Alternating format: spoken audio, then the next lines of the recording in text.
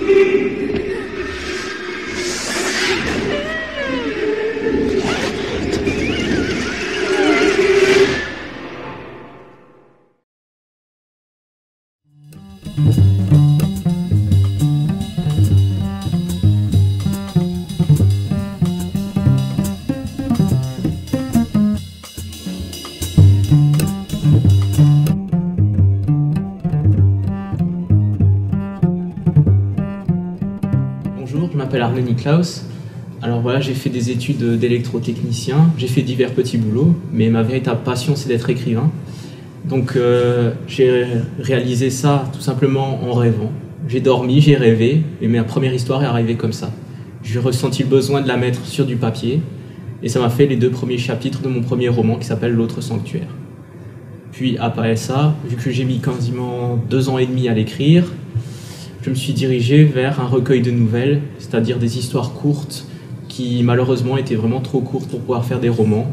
Donc j'ai tout mis dans un livre qui est devenu Les Brumes du Labyrinthe. Pour mon premier roman, L'autre sanctuaire, je me suis assez vite euh, heurté à un problème, c'est-à-dire que les grandes maisons d'édition n'étaient pas intéressées, et particulièrement les, éditions de l'Alsace, sont pas intéressées par un genre euh, s'appelle bah, l'horreur, tout simplement. L'horreur, la science-fiction n'intéresse pas les éditions euh, littéraires de, Strasbourg, pour être franc. Donc j'ai dû aller voir d'autres euh, éditeurs aux quatre coins de la France. J'ai envoyé mon CV partout, avec mon histoire partout. Et finalement, il n'y a qu'un éditeur qui m'a répondu, donc les éditions Beau Repère, et qui m'ont permis de réaliser le livre.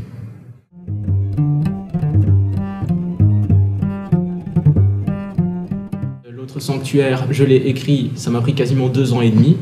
Donc au départ, j'ai écrit que les trois premiers chapitres, puis j'ai laissé dormir le roman pendant quasiment deux ans. Et en six mois, ensuite, je l'ai fini. J'ai corrigé le début, qui me semblait plus très bon, et j'en ai fait finalement un roman complet.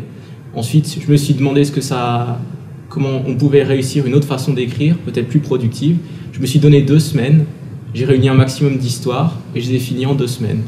Donc c'est moins, c'est plus cru, on va dire. Il y a moins de censure pour euh, l'autre sanctuaire. Donc les brumes du labyrinthe, on va dire que c'est un peu plus direct comme roman.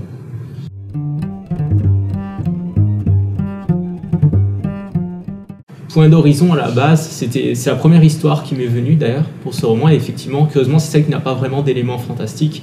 C'est juste l'histoire d'une descente aux enfers, d'une fille qui était heureuse avec son père, qui l'a perdu et qui a tout perdu ensuite. Donc euh, c'est une histoire vraiment qui est sombre, que je qualifierais d'histoire d'horreur quand même, parce que justement elle est sombre et déprimante, mais il n'y a pas d'éléments fantastiques dedans.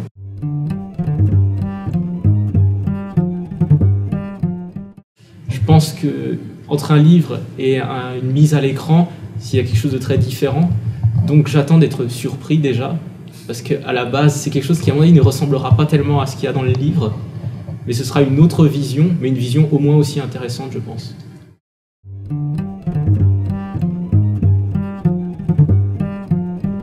Comme dit, j'ai commencé à envoyer des démarches à beaucoup, beaucoup d'associations, de sociétés de production, et je me suis pris beaucoup de noms.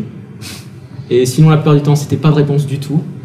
Donc, il n'y a que l'association Trimoser Film qui m'a répondu positivement et qui a accepté de me rencontrer.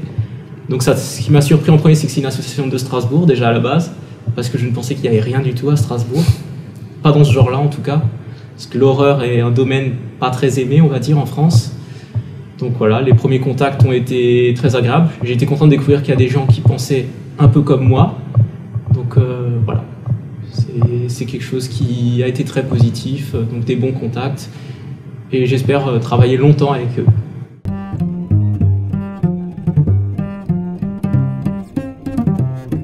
J'ai aussi écrit un livre sur Steven Seagal, qui s'appelle Steven Seagal, dernière légende du film d'action. Donc ça, c'est ma passion, j'ai envie de dire, quasiment secrète et honteuse, vu que tout le monde déteste cet acteur. Mais il a beaucoup de fans cachés.